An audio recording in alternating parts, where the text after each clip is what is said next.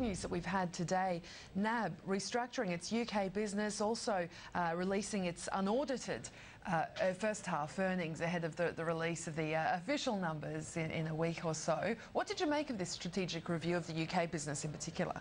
This is a big announcement for National Australia Bank, and I guess the expectation was for NAB to exit its UK businesses through a restructure, and we've partially seen that. If we have a look at Bell Potter's ideal scenarios, the first one was that we would see the uh, Clydesdale Bank being uh, sectioned off as non-core and a run-off of the book over the uh, uh, next five years, or the second option would have been a sale of Clydesdale. But what we're actually seeing is a partial uh, run-off of the, uh, especially the commercial real estate assets, which will be transferred transferred to uh, NAB's uh, balance sheet, and then we'll see a runoff of those assets. But in the UK, we will see NAB concentrating on its retail book as well as the SME part. And I guess the net overall impact of this will be that eventually uh, the UK business will have less of a drag on uh, NAB's earnings going forward, the group's earnings going forward, and the cost of capital for the UK will also come down. So altogether, I think a positive announcement coming through from NAB. We've also seen the unaudited results coming out for the first half. And the market's expectation was for a cash profit result around that $3 billion mark. It's actually come in slightly lower than expectations, coming in at $2.82 billion. But I guess uh, the Clydesdale strategic review is a really important one because the market was looking at that to possibly release uh, some value. And we know that the UK operations have been a drag on the group's earnings. And this uh, partial re uh, the restructure that we're going to see, uh, we'll see a runoff of those uh, commercial real estate uh, assets which will be transferred to NAB's book and a restructure of the business to concentrate on the retail and the SME part, which I guess um, are the most attractive parts of the business for the UK. Just staying in that uh, financial space, BT out with its first half numbers. What did you make of those results? BT coming up with its result and pretty much in line with expectations. We are expecting to see a profit of $19.2 million. We've seen a cash profit of $19.7 million.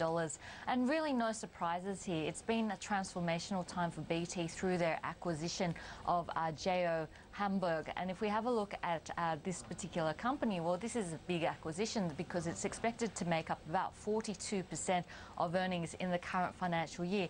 The good news is that post-acquisition, there's been no uh, portfolio managers which have uh, left the company post-acquisition. And post-acquisition, there's also been positive funds flow. So altogether, it looks like it's been a smooth trans, uh, tra uh, transfer and a, a smooth handover. So BT, really no surprises in this result coming out with its half-year profit. Not expecting to see a huge share price reaction today.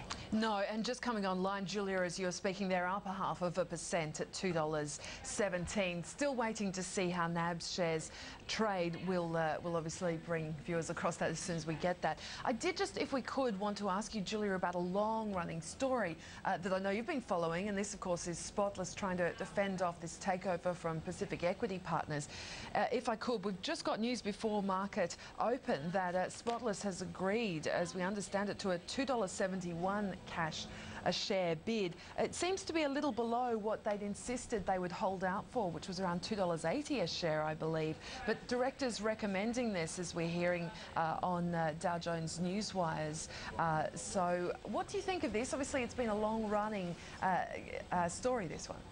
Looks like Spotless has caved into uh, pressure from shareholders. The initial bid from PEP was at $2.63 and that of course was raised up to $2.68 with management of Spotless indicating that they wouldn't accept a bid until it got to the $2.80 mark. But it does look like they have come to a compromise and the implied uh, offer coming through from this revised offer is $2.726.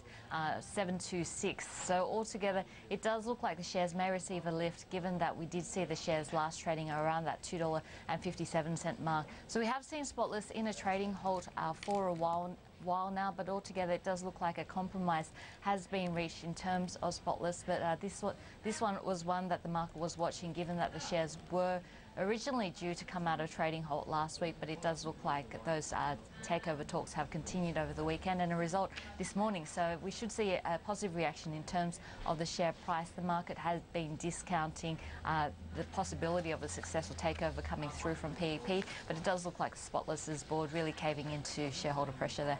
Julia, thanks so much for giving us some reaction to that. Obviously, only just breaking as we came to you, so I appreciate that. And no read yet on Spotless shares, as, as you mentioned in that trading halt since uh, last Tuesday. Just finally wanted to ask you a broad question about where you see the market heading this week. We're pretty steady last week, down, down I think 0.1 of a percent for the week. Uh, what do you see being the major impacts uh, for the market? Is it going to be the RBA meeting tomorrow? Well, this week is all go going to be about domestic news. As you mentioned, it is going to be that interest rate meeting tomorrow here in Australia that will dominate the markets. And what we've seen investors do over the past week is really go into those high yielding areas on expectation that that, that we're going to see rates falling in Australia over May and June.